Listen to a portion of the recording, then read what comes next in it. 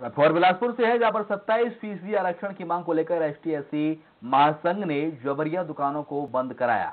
हालाँकि इस दौरान पुलिस आंदोलनकारियों को मना करते रही, लेकिन आंदोलनकारी पुलिस की बात को नजरअंदाज करते रहे और कई बार दुकानदारों और आंदोलनकारियों के बीच विवाद की स्थिति बनी।